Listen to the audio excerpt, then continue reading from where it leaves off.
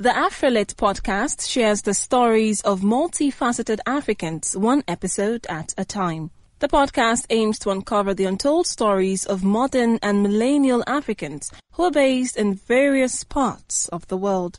Each episode gives listeners an opportunity to learn and experience conversations that showcase who they are and their global perspectives in our ever-changing world. Be sure to listen and subscribe to the Afrolit podcast on Spotify or wherever you listen to your favorite podcast. You can also follow at Afrolit Podcast on all social media platforms.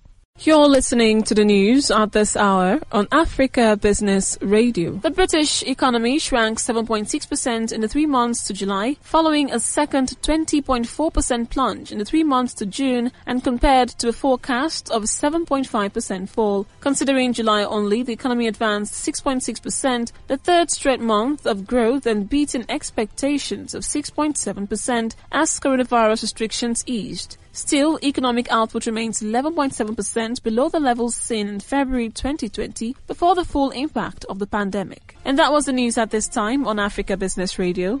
You can continue to listen live online at www.africabusinessradio.com or via our mobile app. I am Rachel Chijundu. Thank you for listening.